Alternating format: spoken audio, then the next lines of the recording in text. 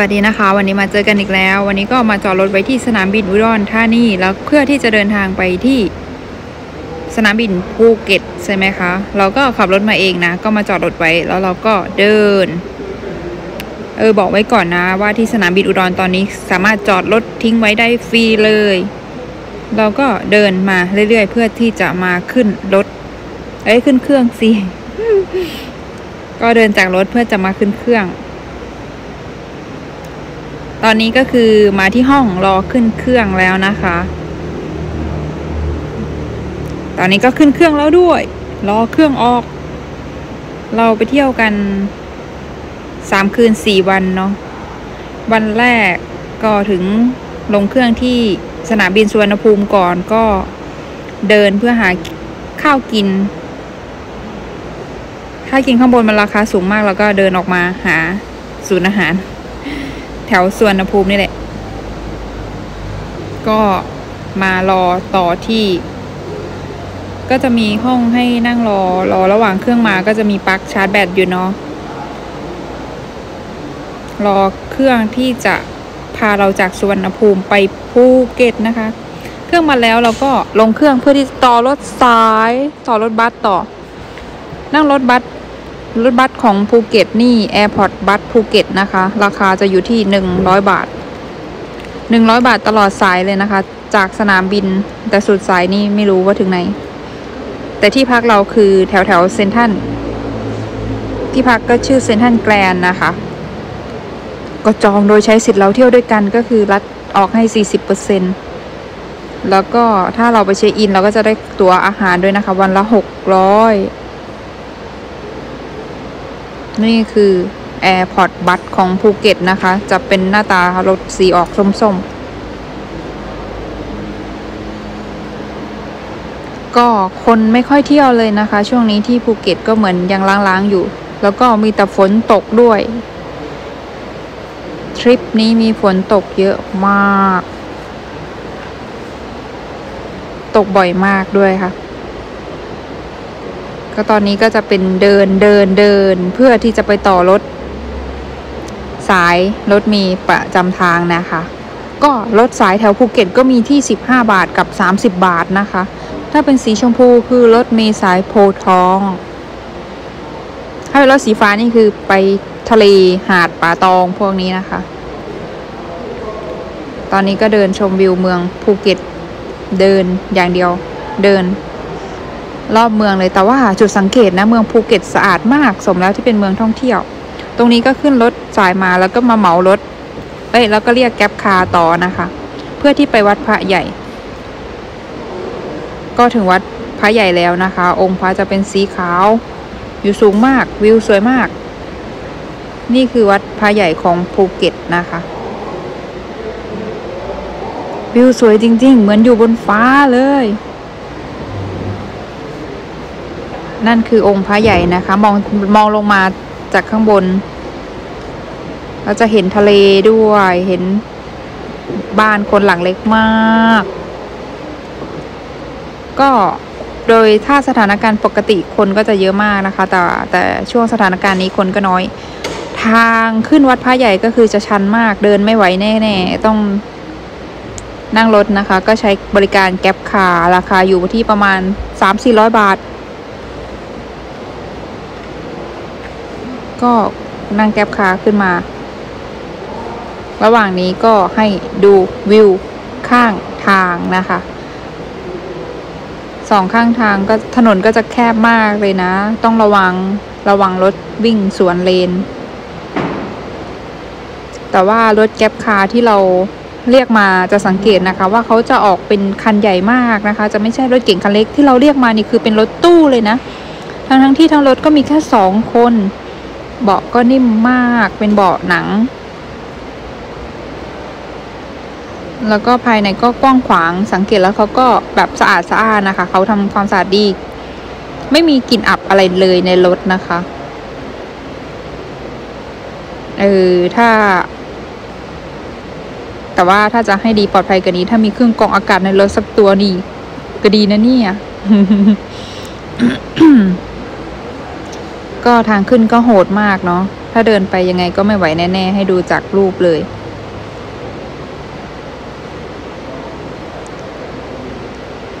แต่ก็คนขับรถก็ขับนิ่งมากเลยนะคะ เราไม่รู้สึกมีอาการเวียนหัว แม้กระทั่งทางมันจะชันมากก็ตาม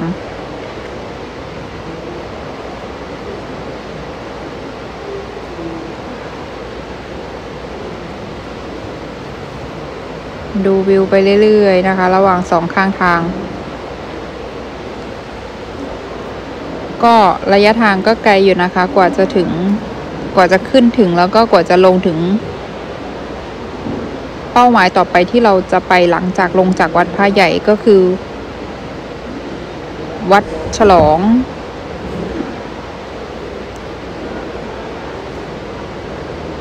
วัดฉลองเป็นวัดดังของเมืองภูเก็ตนะคะ แต่ว่า เราก็เดินดูวิวแป๊บหนึ่งเราเห็นคนเยอะนะที่วัดฉลองคนเยอะ คนเยอะกว่าวัดพระใหญ่มาก เราก็เลยไม่ได้เดินดูมากเท่าไหร่ ด้วยความที่สถานการณ์โควิดด้วยเราก็จะ safe safe หน่อย เห็นไหมเมื่อกี้มีรถสวนมา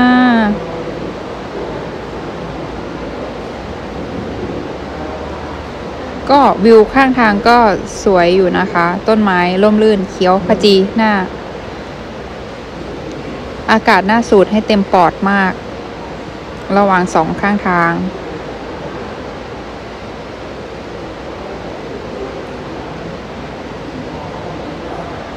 เห็นไหมคะเห็นไหมคะวิวข้างๆ อันนี้คือเป็นภาพที่เราถ่ายจากด้านข้างกระจกรถเนาะเพราะเรานั่งรถแก๊ปคาลงมา ให้เราเดินคงไม่ไหวขาหักแน่ ๆ แล้วก็มีช้างมีช้างด้วย เห็นไหมคะ มีช้างมีช้างสามเชือกสี่เชือก ระหว่างทางก็มีวิวทิวทัศน์ให้ชม อันนี้คิดดูนะคะ ขนาดนั่งรถก็ยังกว่าจะถึงถนนปกติเลย คิดดูว่าวัดพระใหญ่ถ้าแบบ ถ้าไม่มีจิตใจแน่วแน่ที่ตั้งใจจะขึ้นมาก็คงไม่ได้มาจริง ๆ นั่นแหละค่ะ ก็ต้องตั้งใจจริง ๆ ถึงจะขึ้นมากราบ มาไหว้มาขอพรที่วัดพระใหญ่ได้เนาะแต่ก็ยังดีนะคะที่คือยังสามารถมีรถขึ้นมาส่งได้ ไม่ใช่ให้เราใช้เท้าเดิน แนะนำเลยว่าให้หารถ จะเหมาจะเหมาจากสนามบินมาเลยก็ได้นะคะ จะเช่าจากสนามบินมาเลยก็ได้ แต่ต้องติดต่อเขาเนิ่นๆ เพราะว่าช่วงนี้รถรถเช่าที่ภูเก็ตเต็มหลายบริษัทมาก เพราะว่าคนก็จะจอง ล่วงหน้าแล้วก็ทยอยลงมาเที่ยวกันเริ่มเยอะแล้วนะคะ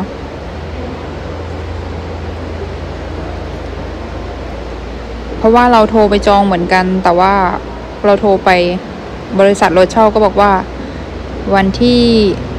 คุณพี่จองเต็มแล้วนะคะ สรุปแล้วเราเลยไม่ได้เช่ารถนะคะ เราก็เลยต้องนั่ง GrabCar ซึ่งราคามันก็สูสีกันนะ ระหว่าง GrabCar กับรถเช่า จะต่างกันตรงที่ GrabCar เราไม่ต้องจ่ายค่าน้ำมันใช่ไหมคะ แถมมีคนขับ แต่ถ้าเป็นรถเช่าเราเราต้องขับเอง เราขับเองเราก็ต้องเติมน้ำมันด้วย เราเช่าเข้ามาน้ำมันเขาเต็มถัง ตอนที่เราไปส่งเราก็ต้องเติมเต็มถังกลับไปเหมือนกัน เห็นไหมณตอนนี้ก็ยังไม่ถึงทางลงของวัดพระใหญ่เลยนะคะ ก็ระหว่างทางก็มีทั้งคนเดิน ออกกำลังกายวิ่งบ้างเดินบ้าง เพราะว่าข้างทางนะคะ ถึงจะเป็นเวลากลางวัน แต่ว่าอากาศข้างทางก็ยังเย็นอยู่ เพราะว่าเมื่อเช้านี้ฝนตก แล้วก็กลางคืนก็ตกนะคะที่ภูเก็ต นี่ เป็นไงในรถ ในรถ GrabCar เป็นรถตู้เขาแต่งสลูเลยนะภูเก็ตสังเกตดูค่าตกแต่งรถนี่น่าจะราคาสูงริ้วอยู่ เพราะว่าเบาะหนังนุ่มมาก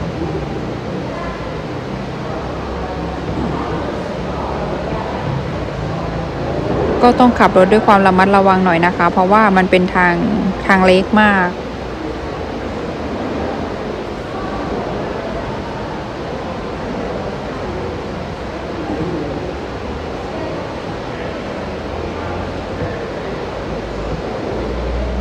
ก็ใกล้ใกล้ถึง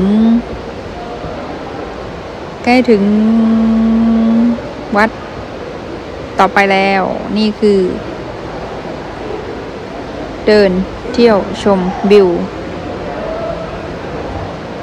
อันอันนี้ยังเป็นพื้นที่ของวัดพระใหญ่อยู่นะคะ ยังไม่ถึงวัดฉลองเลย อันนี้ก็ข้างข้างล่างวัดพระใหญ่ก็จะมีที่ขายของ วันต่อมานี่ก็เป็นวันที่สองของการมาถึง แล้วก็มี plan คือเดินต่อ เดินอย่างเดียว แนะนำให้เอารองเท้าผ้าใบไปด้วยนะคะ เพราะว่าอยู่ภูเก็ตเดินบ่อยมาก แล้วก็ที่ภูเก็ตอะร้านนวดเยอะมากๆเลย อาจจะเพราะเป็นแหล่งท่องเที่ยวแล้วก็มีต่างประเทศเยอะมาก แต่ว่าค่าอาหารที่ขายของที่เราซื้อมันก็ไม่ได้ราคาสูงอะไรนะ หรือว่าเราไปแหล่งที่ราคาของโอเคก็ไม่รู้นะ เราก็จะเดินลัดไปตามซอกซอยแบบนี้เลย เดินมาตามซอย เดินลัดไปทั่วเลยนะ ดีที่ GPS มันมีแบบให้เลือกนำทางโดยการเดินเนาะแล้วก็เดินมาดูพิพิธภัณฑ์ พิพิธภัณฑ์ภูเก็ตไทยหัวนะคะ นี่คือพิพิธภัณฑ์ภูเก็ตไทยหัว แล้วก็มาถึงพิพิธภัณฑ์ภูเก็ตไทยหัวแล้ว นี่เป็นพิพิธภัณฑ์ภูเก็ตไทยหัวเดี๋ยวเราก็จะพาเดินเข้าไปข้างในนะคะ มันก็จะมีค่าจ่าย มีค่า มีค่าที่จะต้องจ่ายค่าทางเข้าด้วย ที่พิพิธภัณฑ์ ค่าทางเข้าผู้ใหญ่ห้าสิบบาท แล้วก็ แล้วก็ตรงนี้ก็เป็นภาพวิวในการท่องเที่ยวต่อ นี่ฉากกำแพงที่ใครๆ นักท่องเที่ยวที่มาภูเก็ตนี่ยังไงก็ต้องมาถ่ายรูปก็คือตรงนี้นะคะ แล้วก็มีตึกสีสี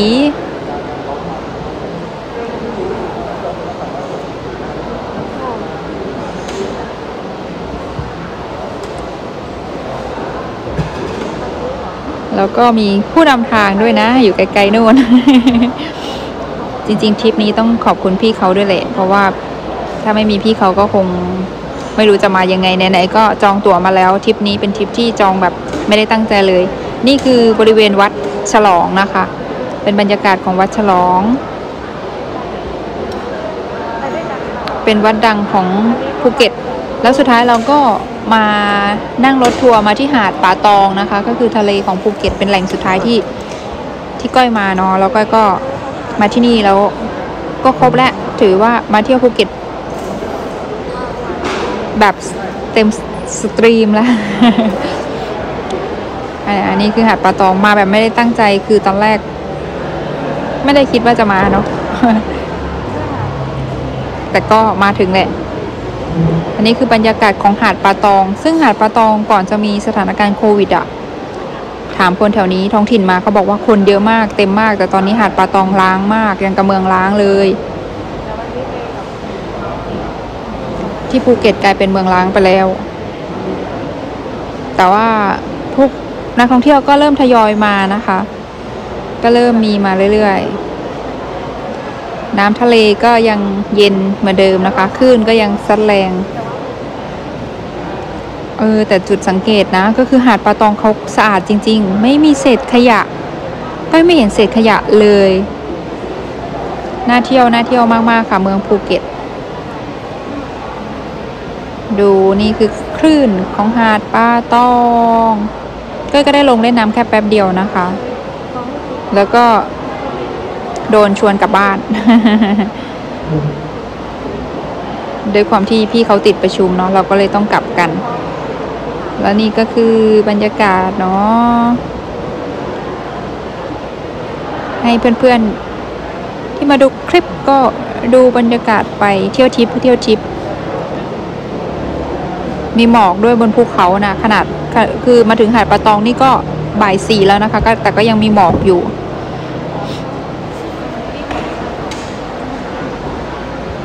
ก็ถ้าชอบคลิปนี้ก็อย่าลืมกดไลค์กดแชร์ กด Subscribe ให้ด้วยนะคะสำหรับทริปหาดปะตอง ก็มีการเหมาสำล้อด้วยนะคะนี่คือสับปะรดใช่ไหม เหมาสำล้อกลับที่เซนทรันด้วย